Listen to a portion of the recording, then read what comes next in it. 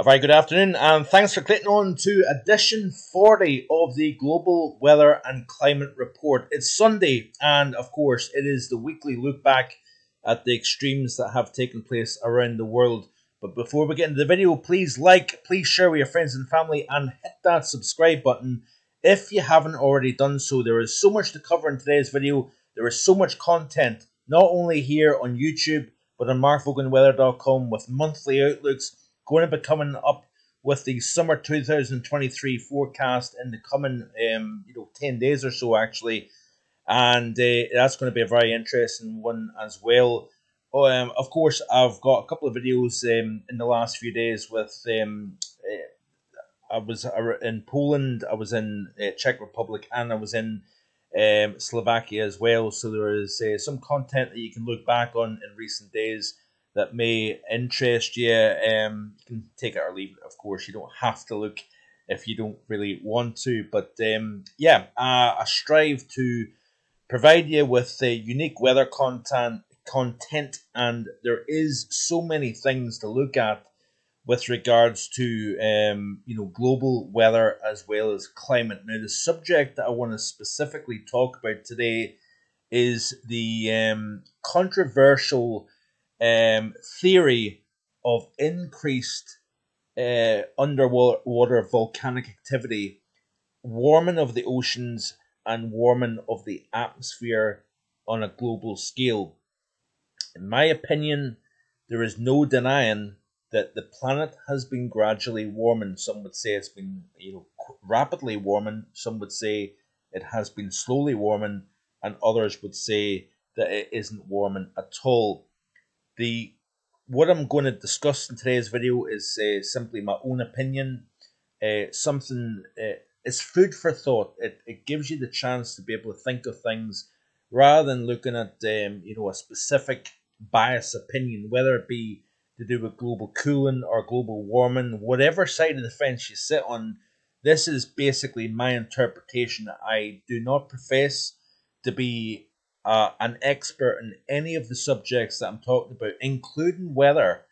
Even though I've been talking about weather and touching on climate now for the good, you know, best part of 15 to 20 years, uh, whether it's been publicly or whether it's been, you know, uh, through other uh, written material and whatnot, um, I don't profess to, to be an expert at all. And, and quite frankly, atmospheric science is way over my head, and um, you know I wish I knew more, uh, but unfortunately I don't. Um, so, but it's it, it just makes me think as time goes on, with all these heat records falling and uh, you know the extremes that are taking place. I, I personally don't believe that the extremes that we're seeing today is really any worse than what we've seen, you know, say 50, 100, 200 years ago, a million years ago, you know, thousands of years ago. The planet is such an ancient place. I find it very, very difficult to believe that in the last 30 years or so, the planet has warmed completely due to man made uh, contribution. Um, I, sh- I really, really struggle to believe that, you know, the history of Earth's climate you know, the sea surface temperatures fluctuating back and forward, that this is the warmest that we've ever seen. I just simply struggle to believe that, if I'm being honest, folks.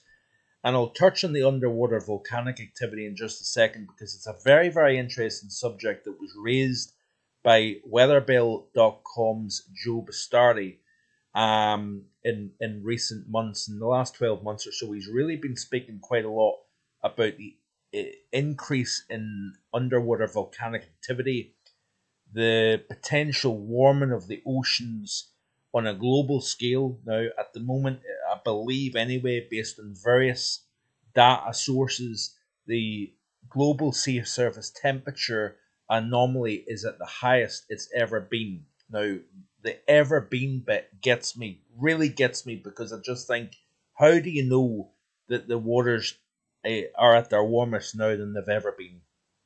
So I struggle with that one. I struggle with the fact that I don't believe that the, the planet hasn't been as warm as this in the past, and there is aspects, there's communities out there, you know, that are doing studies that have proven that the medieval warm period was warmer than it is today. That the modern warm period is not the warmest in in Earth's history. Um, so yeah, yeah, we'll we'll get to that in just a second. I'll always run out of time, so I'm going to really try and get down to this and, and, and quickly as well. This is off weatherbell.com. This is the CDAS data for the month of April, and you can see here the areas of cool versus warm. Now, according to this, Africa was mainly cooler than average. Most of Europe was below average temperature wise. We've also got very cold compared to average Mongolia, central Russia, western and northern China. India has been cold. Pakistan has been cold. Now, bear in mind, India and Pakistan are reaching their warmest period of the year. So that's worth paying attention to. Most of Australia below average in, in the month of April. Very cold compared to average Alaska, southern Canada, northern and uh, western United States, Texas. Uh, we've got parts of South America below average as well. Very, very warm compared to average, and of course, there's been a lot of focus on the Spanish heat wave. 38.8 Cordoba Airport in southern Spain. That's a new all-time April record for the country of Spain. I believe Africa, nor, um, Northwest Africa, uh, Morocco to be specific, had the warmest April day on record, as well as Portugal. But let's uh, look at the big picture, um, and we see plenty of warm areas as well as cold areas. So warm on average, of course, most of the um, the South Asia mainland here, so Laos, uh, Myanmar, Thailand, Cambodia, um, you know, uh, Vietnam, it has been very very hot compared to average in recent times. Uh, all-time record-breaking heat here. We've also seen very warm conditions across Greenland, northern portions of North America. Uh, the UK was close to average in terms of the temperature anomaly. Um, uh, so yeah, so you can see that there certainly the month of March was a good deal warmer. Look at that there. That incredible how warm March was versus April, as you can see here. That's very interesting indeed. May so far, it's been boiling across the northern half of North America, as you can see here, but significant cold areas India, Pakistan, most of the Middle East. You know, this is stuff that you're not seeing in mainstream media, by the way. Look at Africa, look at Europe, particularly Northern Europe. Very, very cold compared to average. Northern, Central, and Eastern portions of Europe. Looking at Europe uh, in more specific, you can see here that the first um, the first seven days or so very cold compared to average. The Baltic states, Scandinavia, Finland, uh, and then into Ukraine. I was, of course, in Poland during the course of last week. Temperatures uh, actually below average here, as you can see here. Warmer than average, Western Scotland, England, Wales, Ireland, Northern Ireland. Very warm compared to average. Portugal, Spain, France, Belgium, Southern Netherlands, uh, Western and Southern Germany, the Alpine region, is warmer than average, as well as parts of the Balkan region. Also, looking at the extremes that have taken place around the world in the last few days here. So, this is uh, the Twitter feed of disaster news. So, you can see here Palm Beach in Florida getting hit by some very, very strong storm uh, conditions here. Damage from a tornado uh, was evident. This is of northern Sumatra and Indonesia, flash floods affecting this region of the world. Saudi Arabia, it's been incredible the, the disturbed weather that we've seen over Saudi Arabia in the last uh, couple of weeks here. Uh, you know, flash flooding, large hail has been an ongoing problem in this region. This is Balochistan in uh, Pakistan here, massive floods as you can see here, uh, this is again from Pakistan uh, in recent days.